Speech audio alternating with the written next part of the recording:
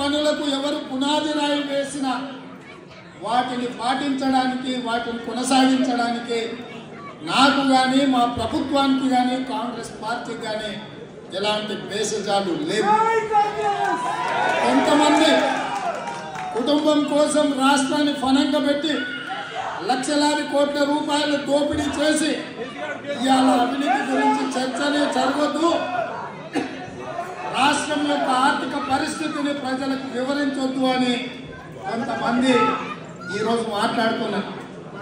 మిత్రులారా అరవై సంవత్సరాలు పదహారు మంది ముఖ్యమంత్రులు తెలంగాణ రాష్ట్రానికి ఇచ్చిన అప్పు డెబ్బై రెండు వేల కోట్లయితే ఒకే ఒక్క కుటుంబం పది సంవత్సరాలలో ఏడు లక్షల కోట్ల రూపాయల అప్పు చేసి ఆ దరిద్రాన్ని ఇవాళ మన నెత్తి మీద పెట్టి మిగులు రాష్ట్రంగా ఉన్న తెలంగాణ రాష్ట్రాన్ని అప్పుల ఊపిలో ముంచి ఇవాళ ప్రభుత్వ ఉద్యోగులకు జీత పత్యాలు ఇవ్వలేని పరిస్థితి తెలంగాణ రాష్ట్రం ఉంది.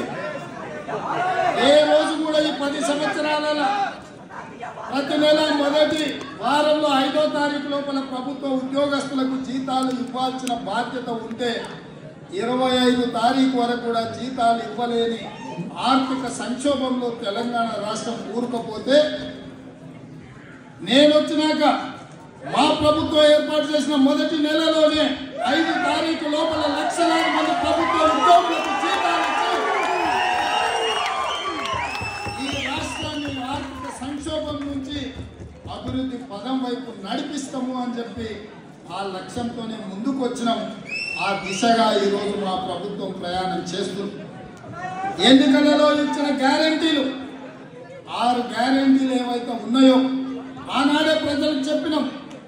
డిసెంబర్ తొమ్మిది రెండు వేల ఇరవై మూడు నాడు ప్రభుత్వాన్ని ఏర్పాటు చేసి వంద రోజుల్లో ఆరు గ్యారంటీలను అమలు చేసే దిశగా మా ప్రభుత్వం పనిచేస్తుంది అని చెప్పి మేము చెప్పినాం. తొమ్మిది తారీఖు నాడు అసెంబ్లీ మొదలుపెట్టిన మొదటి రోజు మీరు ఆరు గ్యారెంటీలను ఎప్పుడు అమలు చేస్తారని బిల్లారాం గారు శాసనసభలో మాట్లాడుతుంటే మొన్న జరిగిన ఎన్నికలల్లో ఆ పార్టీ నాయకులను బొక్క బోర్ల పడేసి బొక్కలు ఇరగొట్టినా బుద్ధి రాలేదు ఇవాళ ఇంకా మాట్లాడుతుంటే రాబోయే పార్లమెంట్ ఎన్నికలలో చూస్తున్నాం మిత్రులారా మీ మద్దతుని సూటిగా బిల్లారంగా చార్లెస్ శోభరాజుకు సవాలు విసురుతున్నా రేపు జరగబోయే పార్లమెంట్ ఎన్నికల్లో తేల్చుకుందాం. మీ నాయకుడుగా, మా నాయకుడుగా, కాంగ్రెస్ పార్టీ నలుగురు అభివృద్ధిగా రేపు జరగబోయే పార్లమెంట్ ఎన్నికల్లో తేల్చుకుందాం. నేను సిద్ధం రెండు రోజుల్లో తెలంగాణ గడ్డ మీద కాలు పెడతా బిడ్డ ఆ రోజు చెప్తా. ఆ రోజు చెప్తా. ఇరవై ఆరు తారీఖు తర్వాత ఇంద్రవల్లిలో మొదలుపెట్టి తెలంగాణ రాష్ట్రం నలుమూలల సుడిగాలి పర్యటన చేస్తా. పార్లమెంట్ ఎన్నికల్లో మీ నిశాన్ లేకుండా వంద మీటర్ల కోతి తీసి పాతి పెడతా అని చెప్పి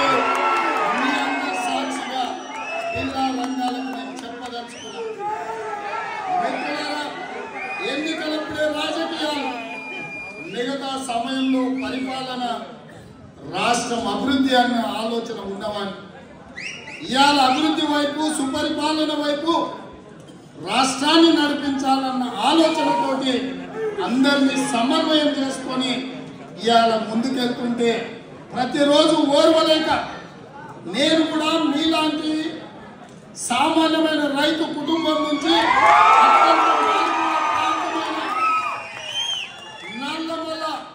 అడవిలో నుంచి వచ్చిన నేను గ్రామీణ ప్రాంతంలో ఒక రైతు బిడ్డగా అతి సామాన్యమైన కుటుంబం నుంచి కార్యకర్తగా మొదలై ఇరవై సంవత్సరాల తెలంగాణ రాష్ట్రానికి ముఖ్యమంత్రి అనే హోదాకి నేను ఇది ఆశా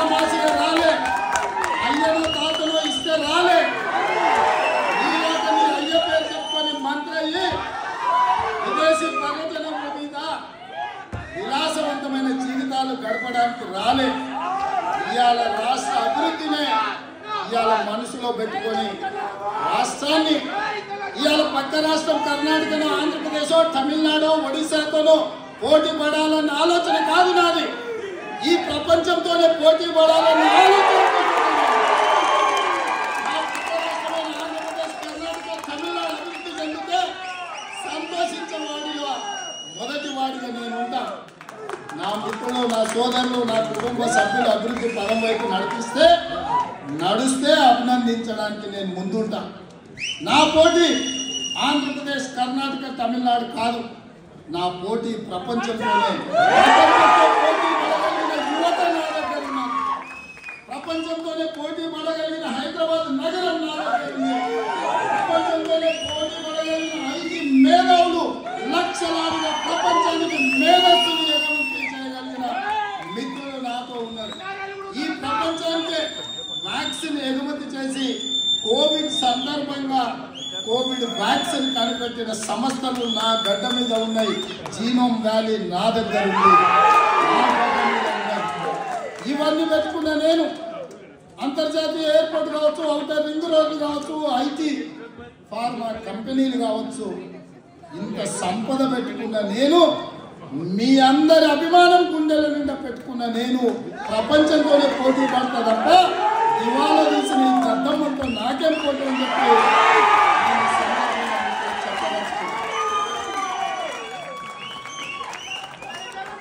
పులి అంట ఇంట్లో పండుకున్నదంట లేచి వస్తుందంట నేను కూడా దాని కోసం విశ్వస్తున్నాం బిడ్డ మా దగ్గర బోర్ ఉంది మా దగ్గర వల ఉంది రమ్మను పులిని.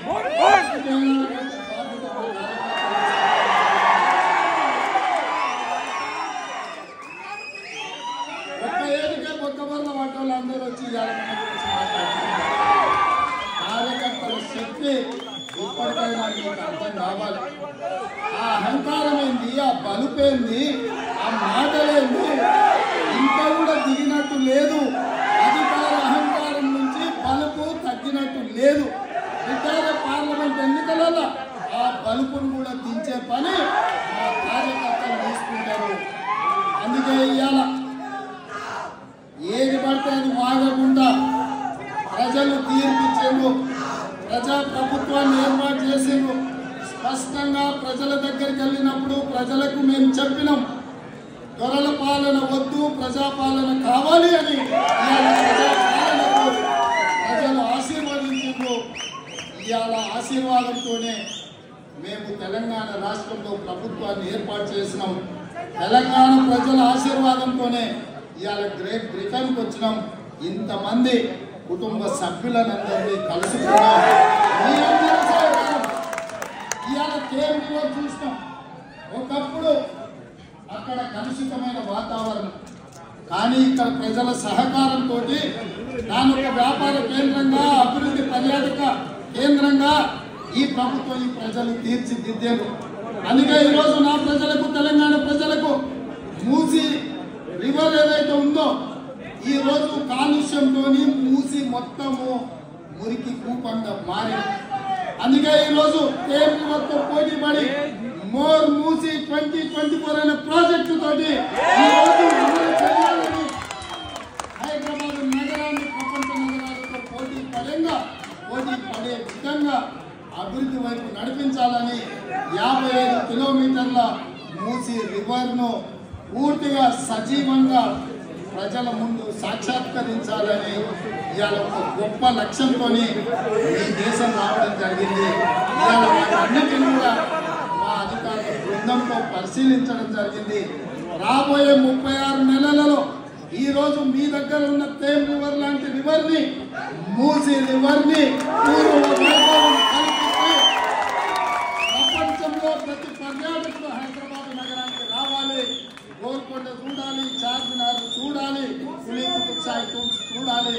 నెక్లెస్ రోడ్డు మీద ఫోటోలు దిగాలి. ప్రాంతం పెట్టుబడులతో మన పూర్వీకులు మనకిచ్చిన ఏవైతే శిల అక్కడ ఉన్న సంపద ఉందో వాటన్నిటిని కూడా ప్రపంచానికి పరిచయం చేయాల్సిన బాధ్యత మన ప్రభుత్వం మీద ఉన్నది. అందులో మీరే బ్రాండ్ అంబాసిడర్స్గా మారి ఈ ప్రపంచానికి మన దగ్గర ఉన్న శక్తిని మన దగ్గర ఉన్న వారసత్వ సంపదను ప్రపంచానికి చెప్పాల్సిన బాధ్యత మీ అందరి మీద ఉన్నది. మీరే ప్రచారకులు మీరే బ్రాండ్ అంబాసిడర్లు మీరే తెలంగాణ రాష్ట్రాన్ని ప్రపంచంతో పోటీ పడే విధంగా ముందుకు నడిపించాల్సిన బాధ్యత మీది. మీ అన్నగా రేవంత్ అన్నగా మీలో ఒకటిగా మీలో ఒకటిగా మీతో కలుస్తూ మీతో చర్చిస్తూ సలహాలు సూచనలు తీసుకుంటూ రాష్ట్రాన్ని అభివృద్ధి పదం వైపు నడిపించే బాధ్యత అన్నా,